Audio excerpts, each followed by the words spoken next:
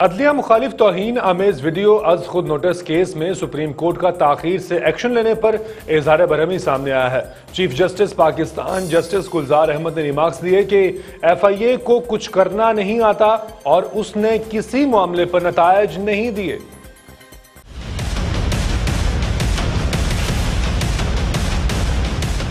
Supreme court में chief justice Pakistan की सरबराही में आगा इफ्तारुद्दीन वीडियो अज खुद नोटिस केस की समात हुई, जिस सिलसिले में अटॉर्नी जनरल अदालत में पेश हुए।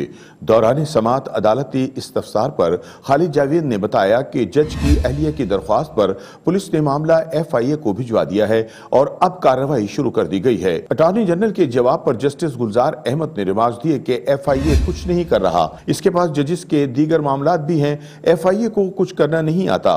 इसने किसी मामले पर नतज नहीं दिए। जस्टिस एजाजुल एहसन ने रिमार्क दिए कि वीडियो में मुल्क के इदारे को धमकी दी गई।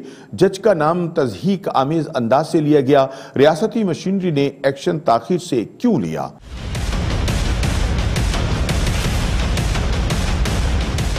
मौलाना इफ्तारुद्दीन मिर्ज़ा के वकील ने दौरान समात बताया कि इनके मौकल खुद अदालत आए लेकिन पुलिस ने हिरासत में ले लिया।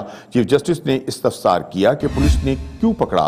मौलाना साहब को बुला लें। अदालत ने डीजी, एफआईए और मौलाना इफ्तारुद्दीन मिर्ज़ा को नोटिस जारी करते हुए समात दो जुलाई तक मुलतवी कर दी।